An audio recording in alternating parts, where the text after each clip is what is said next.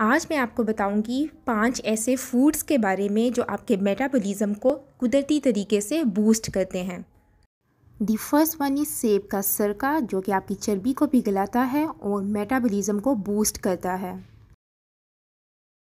The second one is अदरक, जो कि आपके हाजमे के निज़ाम को बेहतर करता है और मेटाबॉलिज्म को स्पीड अप करता है। The third one is green tea इसमें मौजूद कैटिकिन्स एंड कैफेन आपके मेटाबॉलिज्म को नेचुरल तरीके से बूस्टअप करते हैं। डिहाइड्रेशन यानी पानी की कमी आपके मेटाबॉलिज्म को स्लो कर देती है।